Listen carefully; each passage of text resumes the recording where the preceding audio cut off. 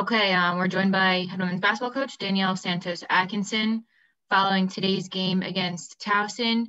Uh, coach, would you just open up with a statement on today? Yeah, a lot of positives from our game today. Um, a lot of stuff that we've been working on, they were able to to convert and apply in the game today we knew that transition was that, that Towson was a great transition team, and we did a great job of, of, of trying to hold them in transition. Uh, they do a great they do a great job. Now, did they get transition points? Yes, but I think we it was an we had an awareness of, of what was happening and, and forced them to play a lot of possessions in the half court. Uh, I think we got off to a slow start in the beginning, but this, we played a great second half. Uh, this team fought; they never gave up. Uh, we shot the ball real, especially in the second half uh, and we did a great job. So we it's a great uh, rebounding team. Uh, we held them to, to five offensive rebounds in that first half. They got a few more in the second half than, than I would have liked them to have, but only six second chance points off of those off of those rebounds. And so we did a great job. We limited our turnovers, which was another emphasis for us going into this game. Uh, and, and I think we got another uh, great opportunity tomorrow to be able to come out here and have growth and have some success. Thanks, Coach. And again, if you have questions for Coach, please use the raise hand feature and I will call on you. Uh, first, Tim, go ahead. Hey, Coach. Tim Crowley, WRHU. So you held the conference's top offense today well below, uh, below their scoring average for the season, also to their lowest field goal percentage of the season. What needs to continue there tomorrow to flip another close game in your favor? Uh, our, our, our, our, team did a great job uh, in our zone defense of really forcing tough shots. Uh, I think the other thing we did is, is we held them for a long time uh, off of the off the boards, and so they get a lot of opportunities when in transition, and they get a lot of second chance opportunities.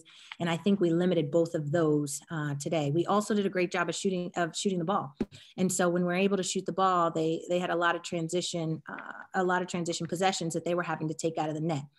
And when they're having to do that, that makes it more difficult for them uh, to be able to run and transition. Although they make they run on makes and misses, uh, we did have those extra seconds because uh, and them taking the ball out to get back. And so I think tomorrow we've got to continue to do a great job in, in transition, and we've got to continue to do a good job in our zone uh, and looking to tweak here and there how we can uh, change our zone, uh, as well as changing defenses uh, for our game tomorrow to try and keep them on their heels.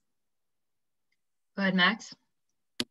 Hi, Coach Max Sacco, WRHU. Heading into tomorrow, what's maybe you talked about tweaking maybe an area or two. Could you go in maybe a little bit more about an area you want to tweak ahead of tomorrow with less than 24 hours before you tip off again against the Tigers? Yeah, they there were some possessions in our zone and some areas of our zone that they were really able to attack. Uh, we've got to clean those up. Uh, the, those areas resulted in a lot of points, and those areas resulted uh, in, in points or fouls and allowed them to get to the free throw line. I think tomorrow we also have to make sure we, we keep them off the free throw line.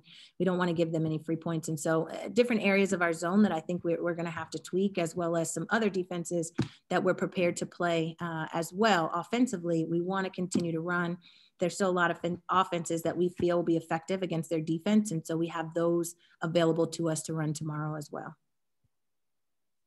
Jack? Hi, Coach Jack McCarthy, WRHU. Uh, you gave Val Valcourt her third start of the season today. What went into that decision? Yeah, so uh, Rosie, who, who, normally starts with us, uh, was was out uh, for a, a, concussion. She was out with a concussion for a while, and, and Val has come in, has stepped up, and has played huge minutes for us. Um, and so she she got that starting role for herself when Rosie went out, and she's done a great job contributing to our team. Any other questions for Coach? Max?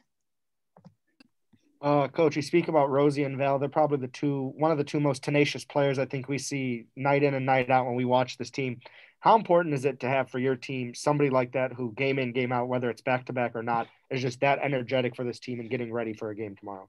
It's great. Uh, both of those guys have have embraced that role of bringing the energy to our team, uh, and they do that really well. Uh, Val, uh, she's always bringing us energy, whether it's on the floor or off the floor, and Rosie does a great job of bringing us energy with her defense. She's got a defensive presence that that makes it tough on opponents, uh, and both of them do a great job of bringing that, and they're both consistent with it, uh, as you mentioned, every time we step out on that floor. Any more questions for Coach? Okay, everybody, thank you very much. Have a nice night. Thank you. Thank you. Thank you.